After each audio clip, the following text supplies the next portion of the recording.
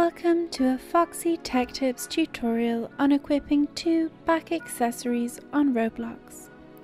If you find this tutorial helpful, please consider subscribing to my channel and liking the video. I'll be showing you how to do this on the desktop version of Roblox. If you want to know how to do it on mobile, check the video description below for a link to that tutorial. Go into your avatar editor on Roblox and go to the back accessories page.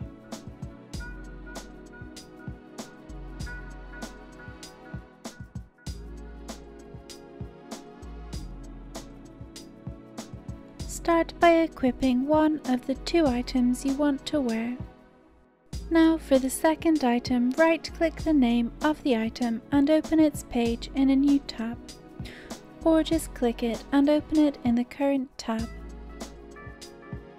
On the item page, look at the URL bar and you'll see that it says roblox.com slash catalog, followed by a number.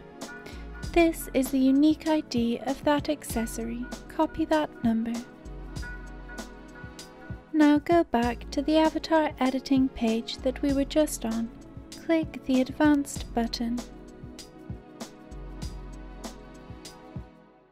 Now paste the copied item number into an empty Asset ID field.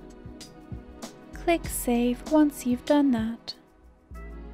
That will equip that accessory and as a result you will now have two back accessories equipped at once.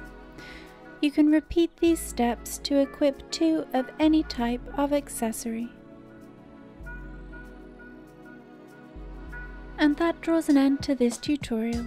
Please like the video if you found it helpful and subscribe to Foxy Tech Tips for more Roblox tips and tricks.